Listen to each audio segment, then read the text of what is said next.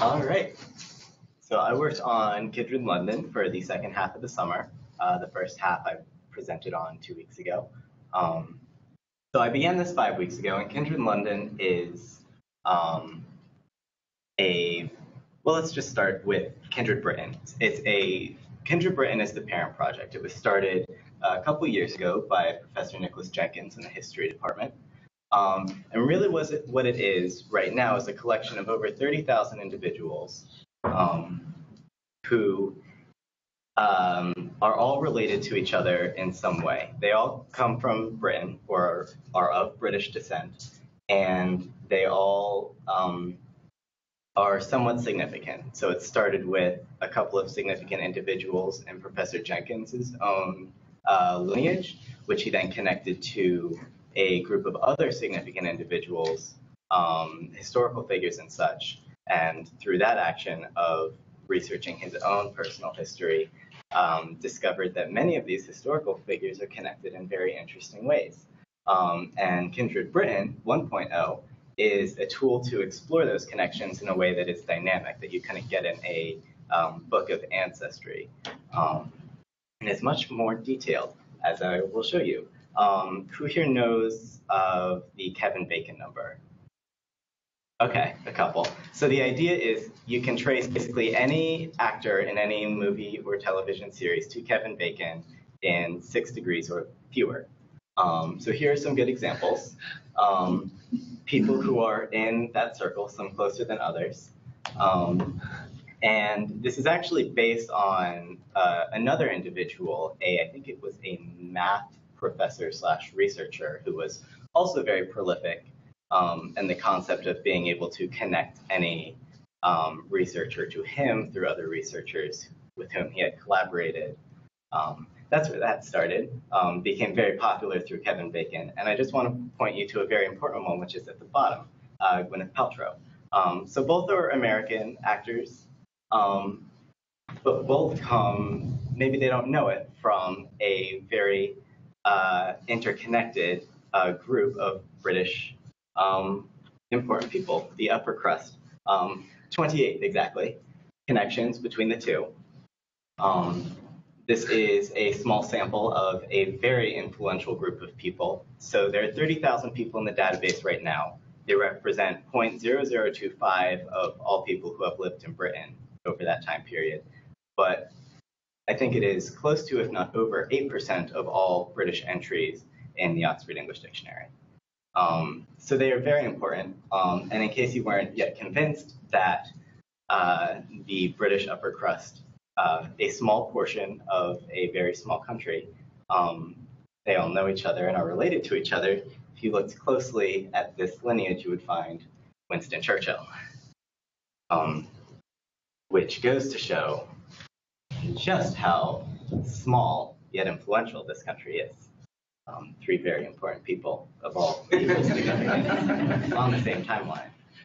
Um, crazy. Okay, so what is Kindred London then? Kindred London is very similar, yet also very different. It is an attempt to map London over a period of time starting in 1666, approximately, um, with the Great Fire, which, as you know, um, changed the city greatly um, was hugely destructive, but resulted in a huge amount of city planning. And 1945, a similar um, events, the Second World War, there was much bombing, resulted in a lot of reconstruction of the city. But in between those two dates, there was basically uninterrupted progress, um, where the city grew organically. Um, although, you know, in great spurts, uh, as you can see in the maps on the side, um, grew geographically as well as in population. Um, and yes, so I will introduce you to the three maps we have used. Um, wonderful maps. I've gotten to know them very, very dearly. Um, the first one is Morgan. It's the one I'm working on right now. Um, finished in 1682. Um, it is it is very, very grainy, as you can see. That is not because it is poor quality because this map is many feet by many feet um, in its real physical form. Uh, and that does not translate well onto a first a small image and then a big screen. But I'll show you the details later. Um, next, we have Rocque. Um, uh, if we look at the detail at the bottom, this will show you what the scale is like. Um, so this one was finished in 1746, um, just about, what, 80-ish years later? No, fewer, 60. Math. Um, yeah, 1746. It is, you know, an almost identical um, section of the city, if a little expanded to account for the geographical expansion. Um, and then the last one we have is Greenwood, which I worked on for most of the summer, um, which I like a lot better because it's more colorful. Um, and this one was finished in 1826, 80 years after that. Um, so these three together represent a um, pretty cursory yet um, very telling cross-section of what London looked like in that period of uninterrupted growth. We want to look up close. This is what these maps look like in details. They have roads. A lot of them have place names. They're illustrated with trees and stuff. It's really nice. Um, this one is Rocque. This one is Greenwood. Um, Greenwood was nice. He highlighted the important roads for us. Um, but as we'll see later, he did some other things not very nice. Um, all right, so the first step is georeferencing. So if we look at these maps, um, they are not um, perfect at all because these were hand-drawn. They were based on surveys that happened over a manner of years. And when you're dealing with an area um, as large as London and you are hand-drawing it, you are going to make mistakes. Um, not just in terms of details, but in terms of, uh, you know, capturing um, the exact dimensions, in terms of, you know, accurately accounting for different variations in the height of the land and the curve of the earth, etc. So what we do is we have to make it so that all of these maps can be superimposed on top of each other and be pretty close to accurate. Um, and that involves taking some landmarks that we know haven't moved from 1666 to the present, um, starting with, say, St. Paul's Cathedral. Here it is in 1682, 60 years later, 80 years later, hasn't moved. Um, is illustrated differently. You can see that the area around it has changed a little bit, um, mostly just in how it was drawn, um, but it's still there. Next, we looked at, say, the Tower of London, also hasn't moved, although the moat has since been filled in, um, and there are fewer boats in it now, in the Thames. Um, here it is in 1746, and here it is later, where they've dug out the side and made a dock. Um, yes, so those haven't moved, and those are really easy. The problem with all of those is they're right in the center, where London hasn't changed much, and where London is very, very significant. You know, you go and you see the sights, you see the London Eye, all that. That stuff is uh, very easy to see. The problem is where we most need to do the georeferencing is around the sides to make sure it's even.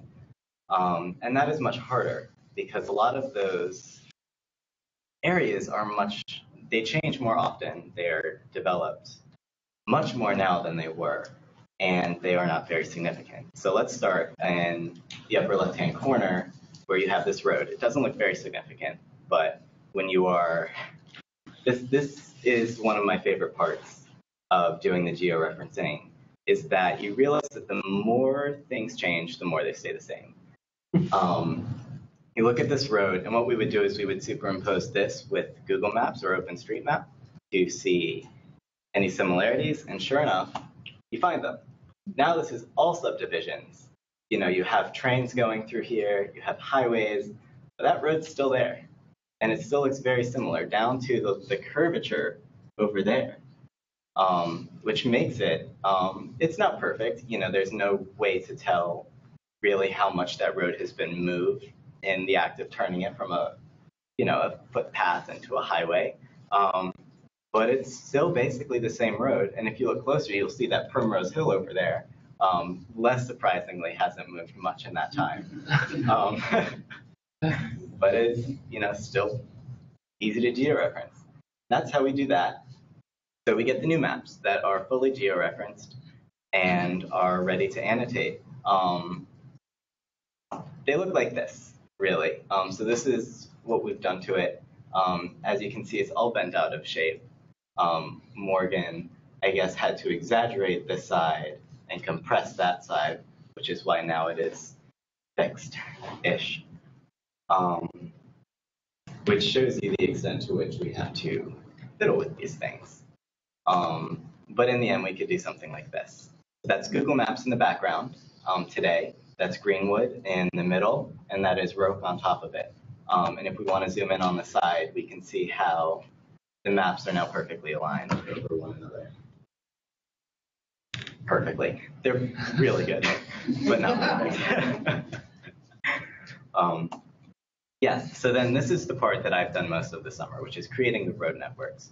The goal for Kindred London is to create a navigable set of roads throughout this time period so that we can, you know, really get to experience London as it grew, see the changes, but also be able to point to a specific period in time and say, what was this like? Um, the problem with creating a, a Google Maps for London is you have to build it piece by piece. And starting with this, it's it's not easy. You know, there's a lot there. Um, you can only base so much off of the Google Maps of today or even the closest map. I'll show you later how much things have changed. Um, but we start with something like this, and then after a lot of work, we end with something like this, which is a pretty good um, road network. Uh, this one is less detailed than ones I'll show you, but you can see where right now, in this period of time, this is the Rocque, so it's 1746. Um, there were a few bridges, one or two, maybe three, if I counted right. So you have to use water taxis um, and figuring out how to get from one side of the shore to the other um, without having every single dock connect to every single other dock was one of the challenges we faced. Another example is taking Greenwood here. So I worked only on the southern part. We're smart about this. We have one person work on the south, one person work on the north, and then we stitch them together at the end. Um, Greenwood, I didn't end up with a stitch copy by the time I made this, um, but here's what the south will end up looking like. There we go. Um, the red lines indicate high volume roads, roads that were heavily traveled, very important. Greenwood was really nice to us. He highlighted most of these, but not all of these. Um, I think it is green that is the mid-level roads, and then blue that are the smaller roads. Um, zooming in close, this is what that final project will look like. Um, that's St. George's Circus in the middle, which we'll get back to in a little bit. Um, and here are all the various roads. Most of them are unnamed. Um, some of them are named confusingly, but for the most part, we've got it. Um, and each of those intersections has been connected so that at the once this is finished, you will be able to go from one point to another, as we'll see. Um, but how do we do that? Um, that was probably the hardest part of this project. Um, as you can see here, this is probably one of the easiest um, sections, just based on you have uh, the clear high volume roads, you have the pretty clear um, mid-volume roads, and the there don't appear to be too many smaller ones, but you can kind of see them up there. The the ones that are called places, the ones that are alleys. Um, but one of the biggest problems we faced was figuring out what to name each of these roads. You have, I mean, look at this road right here. Um, you have four different names along that stretch. Um, and in many places, it's even more confusing. I didn't want to put myself through trying to find one like that, but we faced them.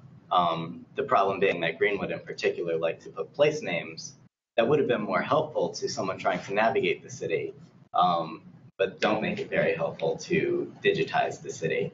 So for example, you wouldn't say likely if you were going down the street that you were just going to be on Charlotte Street. You would be specific. You'd say the place you need to go is along Charlotte Terrace, which probably refers to just those um, buildings right there, um, which made it a little difficult. But this is what the final project would look like, the final product.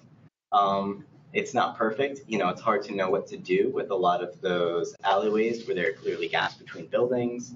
People would have been able to access it, but it's not marked. It's not really indicated as a road. We did what we could um, with places like this.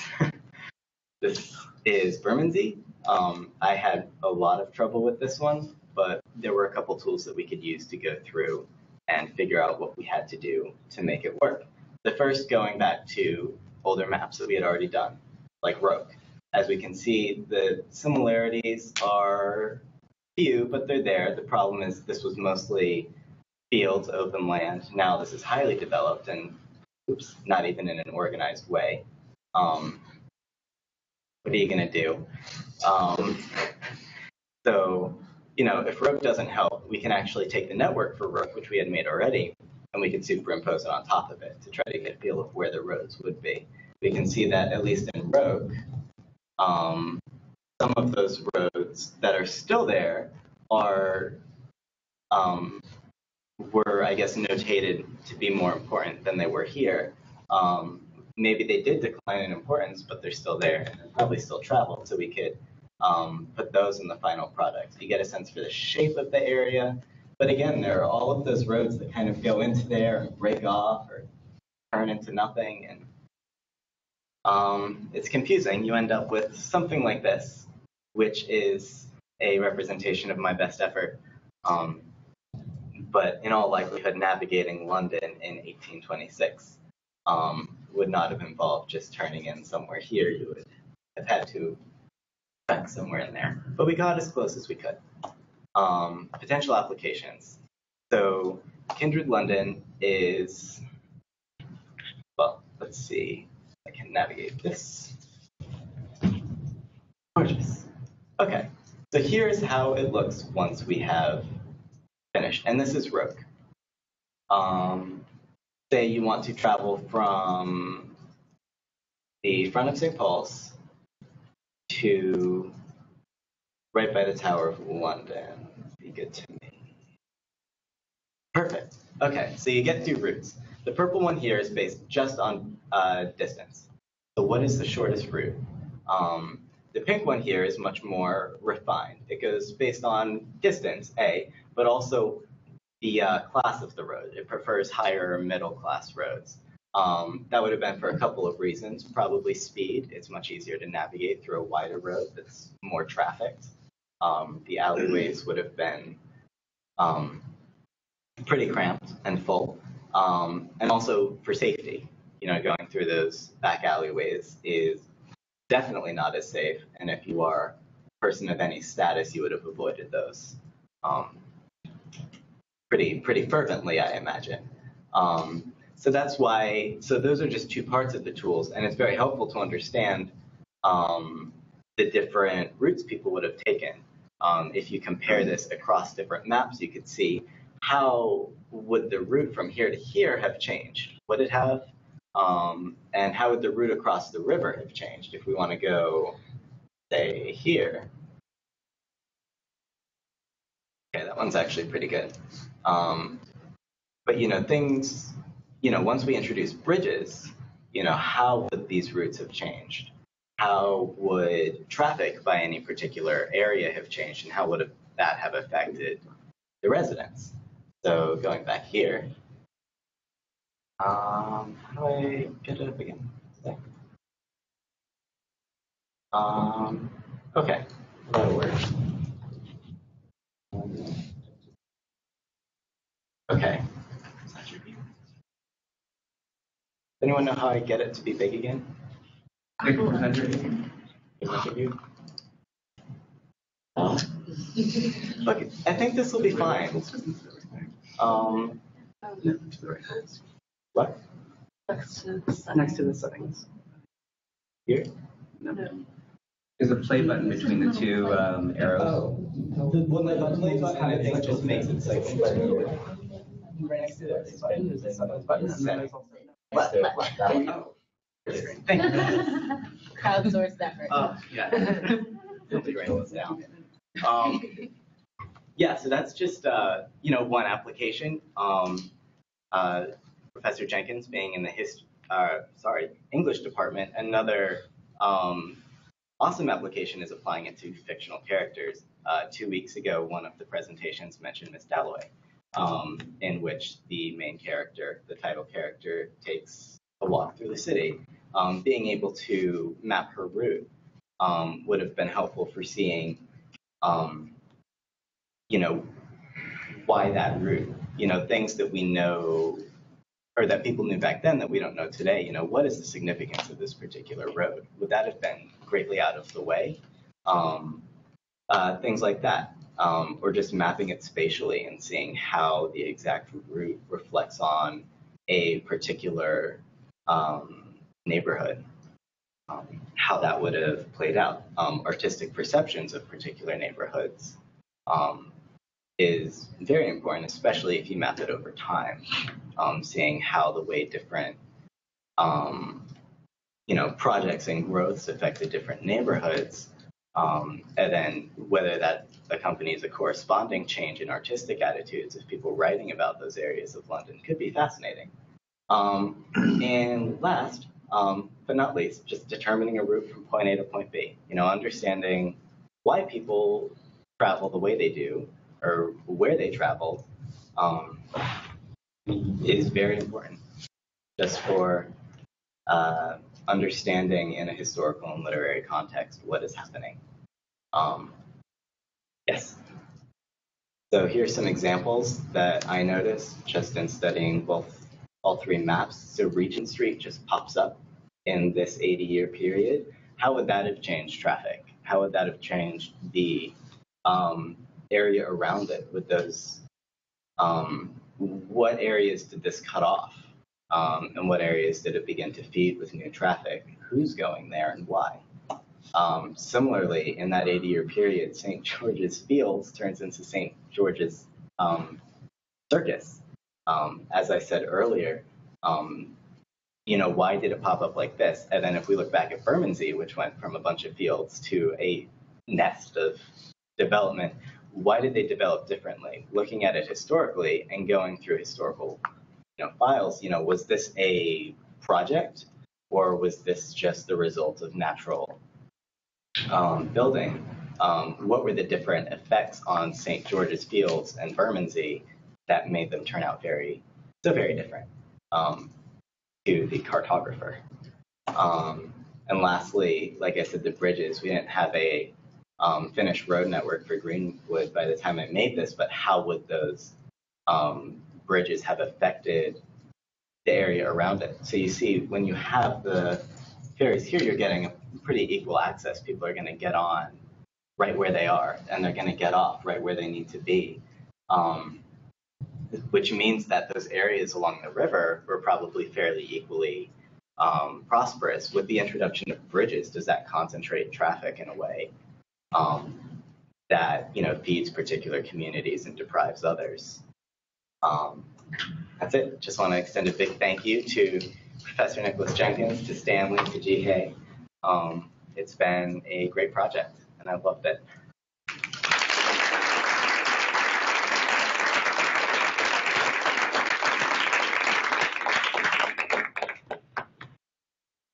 Any questions? Yes. How did you know which roads were most traveled? Or which ones were? Oh, well, I wouldn't know that just yet, but you could use, say, a computer program to say, you know, people going from any number of different places here to here, you know, which routes would have been the most, um, which ones would have been the best, you know. Yeah. Were there any, what were the geographic or map things, what were the challenges that you weren't able to overcome in, in doing this? What were the frustrations? frustrations? I hit a lot of them. Um, but definitely trying to achieve perfection with something that's going to be inherently flawed. Um, like i showed you with the roads you can't really know exactly how much that road has moved. Um, it could have moved a lot. We found with one of the bridges um, over the period between two of these maps um, the bridge had been completely destroyed and rebuilt next to it in a you know a similar area but different location which would have you know uh, completely messed up the georeferencing. So you know trying to figure out exactly where to do it to make it perfect um, and just like with Bermondsey you know you know people had to get to those buildings in the middle but how? How do you map that? Um, that was a struggle Yes. Have you been to London? And if not, when you go, how do you think this will make a difference? in your It's been a long time ago, um, and I went on a touristy trip, so we just saw the big things. Um, I, if I go back, I think it would definitely very much change the way I see the city. It's changed the way I've seen San Francisco. I was up there um, last weekend, and I was like, "Ooh, I wonder how this road got here." You can talk to Kevin. Will do. Were you able to find out why Regent Street was, was developed during that period? 'Cause it had such a huge impact. Yeah, I haven't really gotten to do much of that um, background research. My job really has been making that road network, drawing it. Um, but that is something I'd be really interested in looking at. Um, just in putting it together, it raises so much quest, you know, so much to think about. Um, and definitely that was one of the biggest things I saw because it's a big street and it pops up out of nowhere. All right, thank you very much.